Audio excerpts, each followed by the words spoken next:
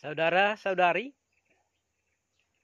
satu kesempatan saya bertemu dengan sepasang suami istri yang sudah hidup bersama ya kurang lebih belasan tahun, 12 atau 13 tahun itu. Dan pasangan ini punya pekerjaan masing-masing. Mereka punya toko sendiri. Istri punya toko sendiri, suami juga punya toko sendiri. Ya. Dan menariknya bahwa keduanya ini sukses di pekerjaan masing-masing. Istri sukses, suami juga sukses. Tapi lama-kelamaan keduanya ini sangat bergantung pada pekerjaan masing-masing. Ya. Suami begitu konsentrasi pada pekerjaannya, istri juga begitu konsentrasi pada pekerjaannya ya boleh dikatakan mereka ini sudah sudah sudah gila kerja. Ya gila kerja.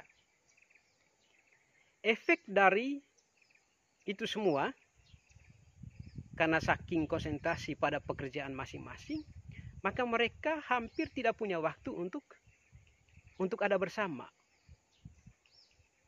Sebagai suami dan istri.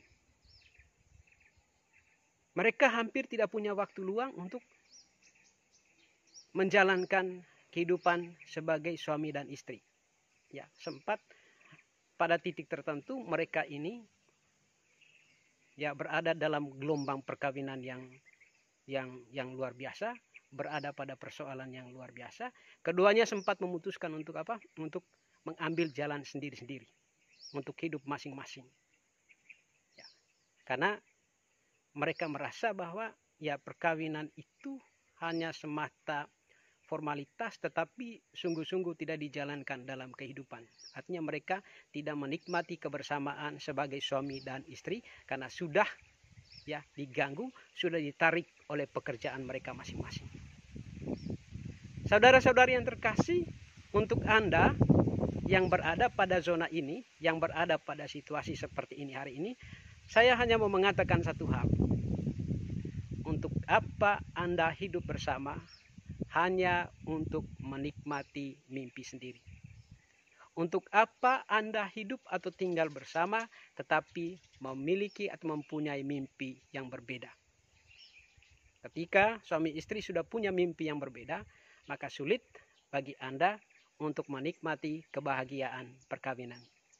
Ayo, untuk saudara-saudari, keluarga-keluarga Katolik, atau siapa pun yang berada pada titik ini hari ini, mari kembali pulihkanlah semangat perkawinan Anda.